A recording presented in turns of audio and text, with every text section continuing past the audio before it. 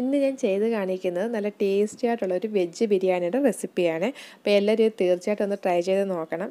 നമുക്ക് ഇതിന് എന്തൊക്കെ വേണമെന്നൊന്ന് നോക്കാമേ. അപ്പോൾ ആദ്യമേ ഞാൻ കുറച്ച് സോയാബീൻ എടുത്തിട്ട് കുതിർത്ത് വെച്ചിട്ടുണ്ട് കേട്ടോ. ചൂടുവെള്ളം ഒഴിച്ചാണ് വെച്ചിരിക്കുന്നത്. പിന്നെ നമുക്ക് ഇതിലേക്ക് വേണ്ടത് എടുത്ത് വെച്ചിരിക്കുന്നത് ഞാൻ മഷ്റൂം എടുത്തിട്ടുണ്ട്. ചെറിയ ഉള്ളി paneer green peas green peas പച്ച തന്നെ കേട്ടോ എടുത്തിരിക്കുന്നത്. ഉണങ്ങിയതല്ല അല്ലാത്ത തന്നെ വാങ്ങിയതാണ്.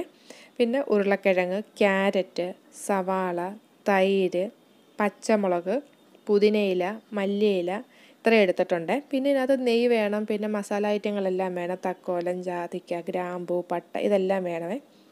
പിന്നെ അതോട്ട് തന്നെ എരിവിന്റെ അനുസരിച്ച് വേണം പച്ചമുളകൊക്കെ എടുക്കാൻ. ഈ ചെറിയുള്ളി എടുത്ത് വെച്ചിരിക്കുന്നത് അത് നെയ്യിൽ കുറച്ചെടുത്തിട്ട് നമുക്കത് വറുത്ത് കോരി ഇതിനകത്തോട്ട് ഇടാൻ വേണ്ടിയിട്ടാട്ടോ എടുത്ത് വെച്ചിരിക്കുന്നത്. അതൊരു പത്തെണ്ണം എടുത്തിട്ടുണ്ട് കേട്ടോ. അങ്ങനെ നെയ്യിൽ വറുത്തോരി ഇടുമ്പോൾ നല്ലൊരു ടേസ്റ്റിന് നമ്മുടെ ബിരിയാണിക്ക് കിട്ടും. അപ്പോൾ ഇത് നമുക്ക് ആദ്യം ഇതിന്റെ മസാല ഒന്ന് തയ്യാറാക്കാം. അപ്പോൾ അതിന് നമുക്ക് എന്തൊക്കെ എങ്ങനെയാണ് ചെയ്യുന്നതെന്നൊക്കെ നോക്കാം. അപ്പോൾ അത് അതിന് വേണ്ടി ഒരു പാൻ വെച്ചിട്ട് എണ്ണ ഒഴിച്ചു കൊടുക്കുവാണ്. അപ്പോൾ ഇതിനകത്ത് നമ്മൾ സൺഫ്ലവർ ഓയിലാട്ടോ എടുത്തിരിക്കുന്നത്. ആ എണ്ണ ചൂടായി വന്നപ്പോൾ അതിലേക്ക് നമ്മൾ പട്ട ഇട്ട് കൊടുത്തിട്ടുണ്ട്. പിന്നെ ബേ ലീഫ് തക്കോലം. പിന്നെ നമ്മൾ കുറച്ച് ഗ്രാമ്പു ഏലയ്ക്ക ഇത്രയാണ് ഇതിലേക്ക് ഇട്ട് കൊടുക്കുന്നത്. പിന്നെ ഒരു അര ടീസ്പൂൺ ജീരകം കൂടി ഇട്ട് കൊടുക്കണം. ജീരകം ലാസ്റ്റ് ഇട്ട് കൊടുത്താൽ മതി കേട്ടോ. ആദ്യമേ ഇതൊക്കെ ഇട്ടിട്ട് ഒന്ന് ചൂടായി വരുമ്പം വേണം ജീരകം ഇട്ട് കൊടുക്കാൻ. ജീരകം ആദ്യമേ ഇട്ട് കൊടുത്താൽ അത് ആദ്യമേ അങ്ങ് പൊട്ടിനകത്ത് വന്നിട്ട് കരിഞ്ഞൊക്കെ പോകാനുള്ള ചാൻസ് ഉണ്ട്. അപ്പോൾ അതിന്റെ ടേസ്റ്റ് നമ്മുടെ ബിരിയാണിയുടെ അങ്ങ് മാറിപ്പോവും. ഇത് എണ്ണയിൽ കിടന്ന് നല്ലൊരു മണം വരുമല്ലോ മൂത്ത് വരുമ്പോൾ നല്ലൊരു മണം വരുന്ന സമയത്ത് ഇതിലേക്ക് നമ്മൾ ഉള്ളി അരിഞ്ഞ് വെച്ചിരിക്കുന്നത് ഇട്ട് കൊടുക്കണം. രണ്ട് ഉള്ളി ആയിരുന്നല്ലോ എടുത്ത് വെച്ചിരുന്നത്. അതും പച്ചമുളകും കൂടിയാണ് ഇട്ട് കൊടുക്കുന്നത്. പച്ചമുളക് നമ്മുടെ എരിവിന്റെ അനുസരിച്ച് വേണം ഇട്ട് കൊടുക്കാൻ ഇതിനകത്ത് മുളക് പൊടിയൊന്നും ചേർത്ത് കൊടുക്കുന്നില്ല. അപ്പോൾ അതുകൊണ്ട് തന്നെ നമുക്ക് എത്ര എരിവ് വേണോ അതനുസരിച്ചിട്ട് വേണം പച്ചമുളക് ഇട്ട് കൊടുക്കാൻ ഇപ്പോൾ ഉള്ളി നല്ലപോലെ വഴന്ന് കിട്ടിയിട്ടുണ്ട്. ഇങ്ങനെ വരുന്ന സമയത്ത് ഇതിലേക്ക് നമ്മൾ മഞ്ഞൾപ്പൊടിയാണ് ഇട്ട് കൊടുത്തിരിക്കുന്നത്. ഇത് ഞാനിപ്പോൾ ഒരു ടീസ്പൂൺ ഇട്ടിട്ടുണ്ട്. മഞ്ഞൾപ്പൊടി. പിന്നെ ഇതിലേക്ക് നമ്മൾ ഇട്ട് കൊടുക്കുന്നത് ഇഞ്ചി വെളുത്തുള്ളി പേസ്റ്റ് അതൊരു ഒന്നര ടേബിൾ സ്പൂണാണ് ഇട്ട് കൊടുക്കുന്നത്. ഇതിനകത്ത് നമ്മൾ മഞ്ഞൾപ്പൊടി മാത്രമേ പൊടി ഐറ്റങ്ങളായിട്ട് ഇട്ട് കൊടുക്കുന്നുള്ളൂ. ഞാൻ നേരത്തെ പറഞ്ഞു മുളക് പൊടിയൊന്നും ഇട്ട് കൊടുക്കുന്നില്ല. അതുകൊണ്ട് തന്നെ എരിവിന്റെ നോക്കി വേണം പച്ചമുളക് ഇടാൻ. അതുപോലെ പിന്നെ പച്ചമുളക് ഒരുപാട് കൂടി പോവുകയും ചെയ്യില്ല കേട്ടോ. ഒത്തിരി എരിയായാലും നമ്മുടെ ബിരിയാണിക്ക് നല്ലൊരു ടേസ്റ്റ് കിട്ടത്തില്ല. അപ്പോൾ ഇത് ആ പച്ചമണം അതിന്റെ ഇഞ്ചി വെളുത്തുള്ളിയുടെയും പച്ചമണം മാറുന്നവരെ നമുക്കൊന്ന് ഇളക്കി കൊടുക്കാം. അതിനുശേഷം കുരുമുളകാണ് ഇട്ട് കൊടുക്കുന്നത്. കുരുമുളക് പൊടിച്ചിട്ട് ഇട്ട് കൊടുക്കുവാണ്. അത് ഒരു ടീസ്പൂൺ ഇട്ട് കൊടുക്കുന്നുണ്ട്. ഇതൊക്കെ ഇപ്പോൾ ഇടുന്നുള്ളൂ പിന്നീട് നമ്മൾ കുരുമുളക് ഒന്നും ഇട്ട് കൊടുക്കുന്നില്ല. ഇപ്പോൾ നമ്മൾ നോക്കി വേണം. അപ്പോൾ ഓരോരുത്തർക്കും എരിവ് മസാലയുടെ ടേസ്റ്റൊക്കെ വ്യത്യാസമായിരിക്കും. അതനുസരിച്ച് വേണം നമുക്ക് ഇട്ട് കൊടുക്കാനൊക്കെ കേട്ടോ. ഇപ്പോൾ കുരുമുളക് ഇട്ടതിന് ശേഷം ഒന്ന് ഇളക്കി. അതിന് ശേഷം നമ്മൾ എടുത്തു വെച്ചിരിക്കുന്ന പച്ചക്കറികളെല്ലാം ഇട്ട് കൊടുക്കുവാണ്. അപ്പോൾ നിങ്ങൾക്ക് വേറെ ഇതിന് കോളിഫ്ലവറൊക്കെ ഉണ്ടല്ലോ അതൊക്കെ വേണമെങ്കിൽ ഇട്ട് കൊടുക്കാം കേട്ടോ. ബീൻസ് ഇതൊക്കെ വേണമെങ്കിൽ ഇട്ട് കൊടുക്കാം. അതുപോലെ ഇതിന്റെ അളവിലൊക്കെ മാറ്റം വരുത്തുകയും ചെയ്യാം കേട്ടോ. ഇപ്പം നിങ്ങൾക്ക് കൂടുതലായിട്ട് ഇഷ്ടമുള്ള വേറെ ഇപ്പോൾ സോയാബീൻ കൂടുതൽ വേണമെങ്കിൽ അതിട്ട് കൊടുക്കാം. മഷ്റൂം കൂടുതൽ വേണമെങ്കിൽ അങ്ങനെ ഇട്ട് കൊടുക്കാം. അപ്പോൾ അതൊക്കെ എന്ത് വെച്ചാൽ വേണ്ടതനുസരിച്ച് നിങ്ങൾക്ക് അളവിലൊക്കെ മാറ്റം വരുത്താം. ഇതിനേക്കാളും കൂടുതൽ വേണമെങ്കിൽ അളവിൽ കൂടുതൽ വേണമെങ്കിൽ ഇട്ട് കൊടുക്കാം. ഇതിനകത്ത് പനീർ ഞാൻ ലാസ്റ്റിലേ ഇട്ട് കൊടുക്കുന്നുള്ളൂ. ഈ സമയത്ത് ബാക്കി എല്ലാ പച്ചക്കറികളും നമ്മൾ അരിഞ്ഞ് വെച്ചിരുന്നത് ഇട്ട് കൊടുത്തിട്ടുണ്ട്.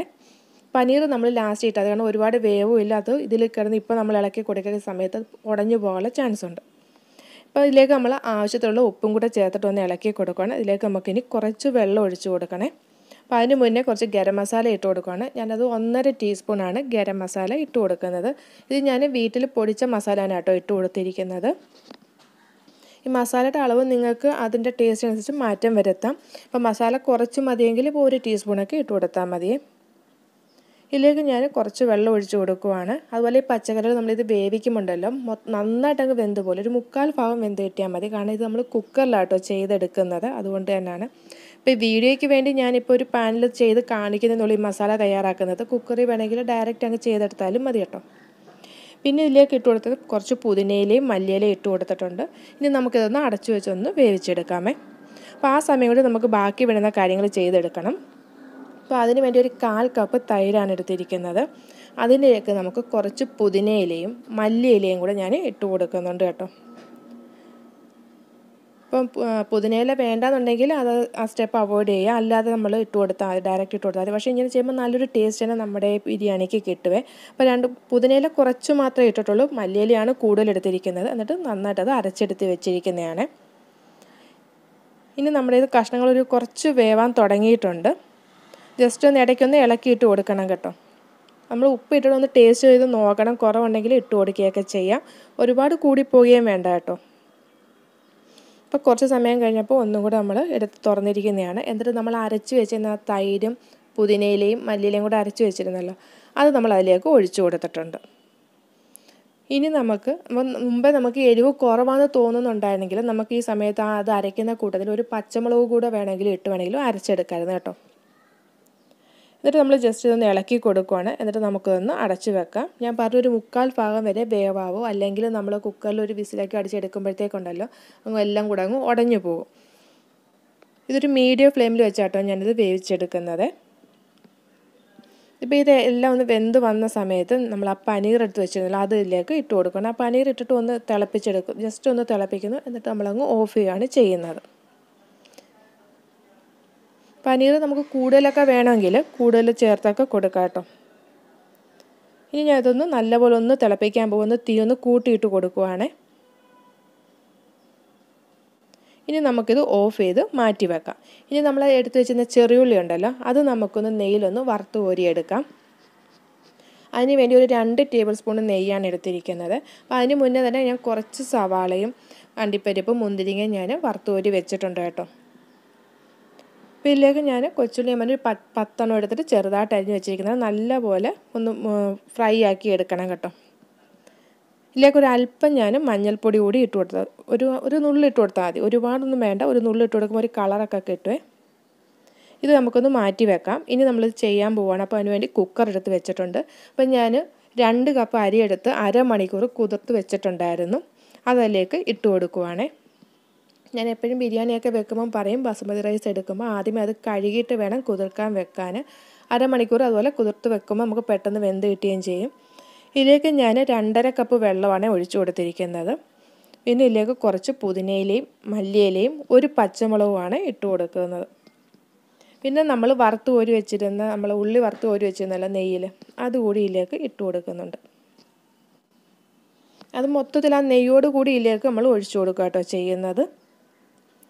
അത് ജസ്റ്റ് ഒന്ന് ഇളക്കി കൊടുത്തതിന് ശേഷം നമ്മൾ ആ മസാല റെഡിയാക്കി വെച്ചിട്ടുണ്ടായിരുന്നല്ലോ അതുകൂടി ഇതിലേക്ക് നമുക്ക് ഇട്ട് കൊടുക്കാം.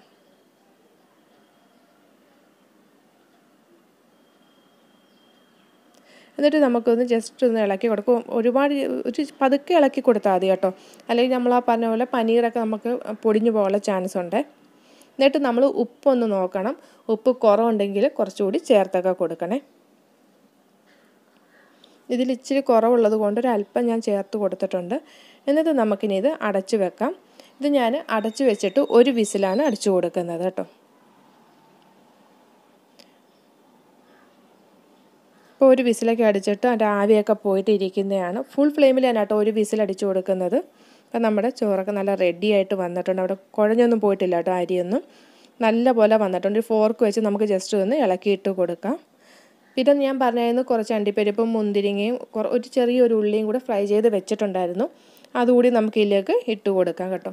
അപ്പം നല്ല ടേസ്റ്റി ആയിട്ടുള്ള അടിപൊളി ഒരു ബിരിയാണിയാണ്. ഇത് വെജ് ബിരിയാണിയാണ്. എല്ലാവരും തീർച്ചയായിട്ടും ഒന്ന് ട്രൈ ചെയ്ത് നോക്കണം എന്നിട്ട് അഭിപ്രായങ്ങളൊക്കെ പറയണം. ഇഷ്ടപ്പെടുവാണെങ്കിൽ എന്റെ ചാനൽ ഒന്ന് ലൈക്ക് ചെയ്യാനും ഷെയർ ചെയ്യാനും സബ്സ്ക്രൈബ് ചെയ്യാനും മറക്കരുത്. മറ്റൊരു വീഡിയോയുമായി നമുക്ക് കാണാം. Okay bye.